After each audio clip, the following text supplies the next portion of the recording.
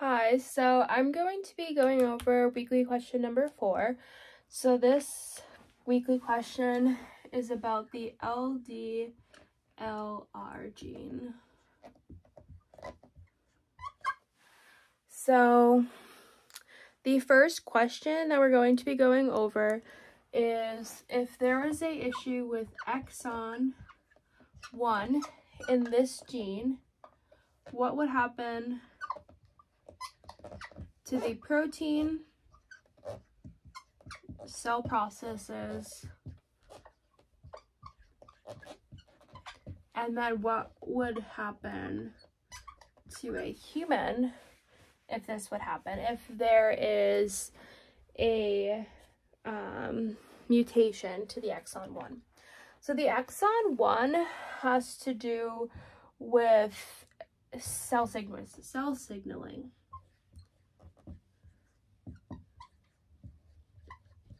So this is one of, this is the very first exon.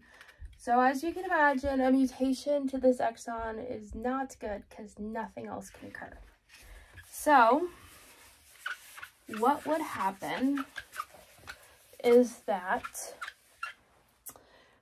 the process will start. So the ER or the endoplasmic reticulum, endoplasmic reticulum, I'm sorry, um, cell sequence signal sequence wouldn't be able to signal.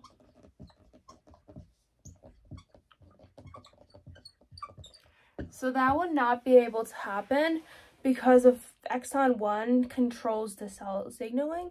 So this wouldn't even be able to occur, um, which is one of the first steps, was the first step of um, this process. Um, so, of translation. So translation wouldn't be able to occur.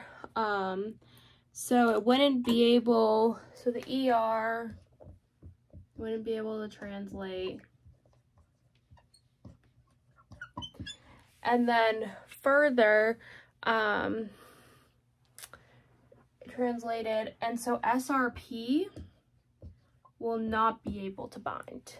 So SRP is not going to be able to bind and nothing is going to occur really in the appropriate um, way of the LDLR and translation. So this is like a huge issue if exon 1 is has an issue to it. And so in a person, what would happen, which LDLR has to do with cholesterol in the body, um, so have you ever heard of LDL, which is the bad cholesterol um, in your body? So if it's high, then it can mean like type 2 diabetes, you just you have high cholesterol in general, anything like that. So this would relate if there's a problem with exon 1, it would be high cholesterol. So the cholesterol will be high, which means the cholesterol in the cell will be low. So um, LDL and the blood, um, so the uh, cholesterol in the cell in the blood will be low, um, and the cholesterol, I mean, sorry, the cholesterol in the cell will be low, and the cholesterol in the blood will be high. Um, so the cell, since it's low, will increase cholesterol, which causes those LDL levels to increase um, which is increases transcription and causes those LDL levels to increase. So as you can imagine, this is not good um, for a patient because it could mean type 2 diabetes, like I said, high cholesterol, which would result in medication, increase risk to other health issues, heart issues, anything like that, um, increase plaque in the heart, arteries because the cholesterol is high, um, they have to go on a special diet. So honestly, a mutation exon 1 is not that good to humans, the proteins, the cell processes, because everything has to be stopped. And unless that can be repaired, transcription or translation is never going to occur. So, because it's one of the, it's the first exon. So if there's a mutation in that, you can't get past to the like next exon. So now if there's a mutation in exon 3, a little bit more forgiving here. So exon 3 is responsible for ligand binding. So we can get through up to exon 3. So the processes will grow as planned. So mRNA will uh, ribosome complex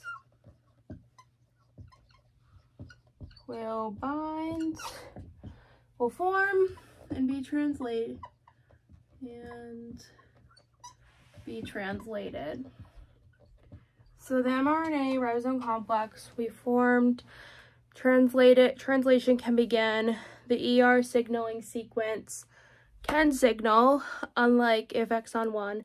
Um, and the SRP, so where this is going to be stopped is the SRP again. Which is a pretty crucial sequence. So the SRP can't bind because ligand binding is not working.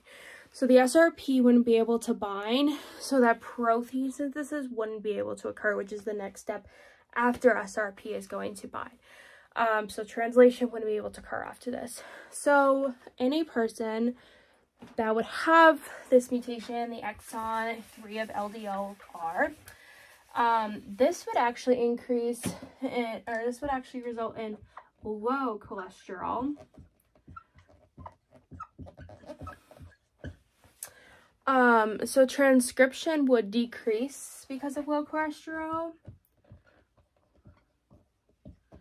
Because the cholesterol in the cell is going to increase unlike when the cholesterol is high, the cell is going is going to increase because transcription is increasing, making the LDL high.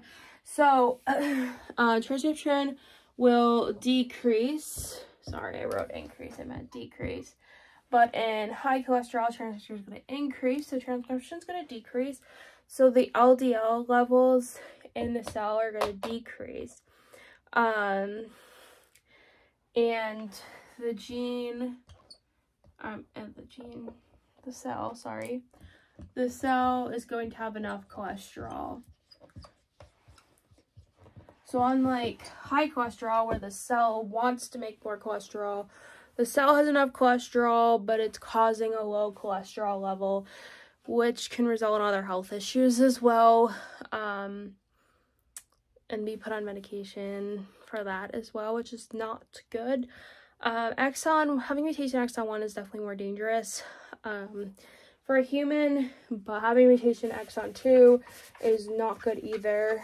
Um, so, because the LDLR actually holds a great purpose for the human body, especially when it comes to cholesterol levels. So, that's it.